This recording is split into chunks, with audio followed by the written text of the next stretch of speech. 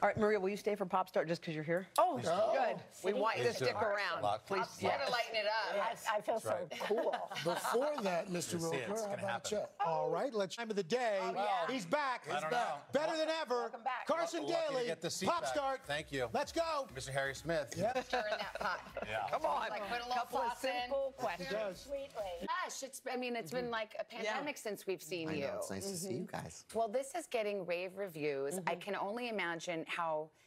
And you had no idea whether he could sing. In fact, he said that you asked him like if you if he wanted to be in it and could he sing and could he play the piano. He gave you a yes because he knew. to place on someone even that you admire so much. Andrew told, first of all, he sings Yes. incredibly Yeah. well. Like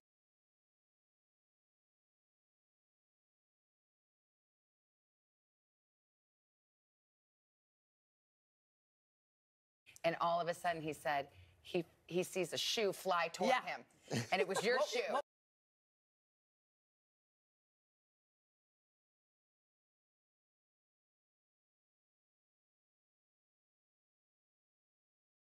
We have a sweet update this morning on a story that's been making us smile for really years now. Sweet pumpkin pie on Thanksgiving Day. Back in 2016, Wanda Dench and Jamal Hinton were strangers. Mm-hmm. But when the Arizona grandmother texted the wrong person to come over for Thanksgiving, he accepted.